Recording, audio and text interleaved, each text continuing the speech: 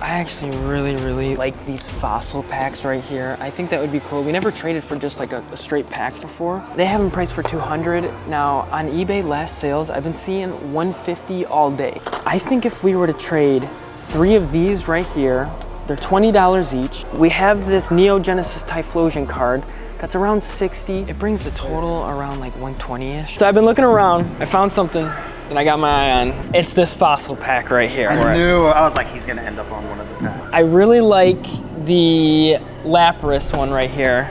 Now, I've been seeing last sales on eBay go for around like 150 bucks. Mm. These right here go for $20 each. And then we have this Typhlosion card. Packs have honestly been there for a minute, and this gives me more variety. So I think I'm gonna take you up on your offer, and we're gonna just go for it. Are you kidding me? Just like that? All right. Serious? You're, you're down to do it? I'm serious. Matt, thank you so much. Thank you, thank you. Okay.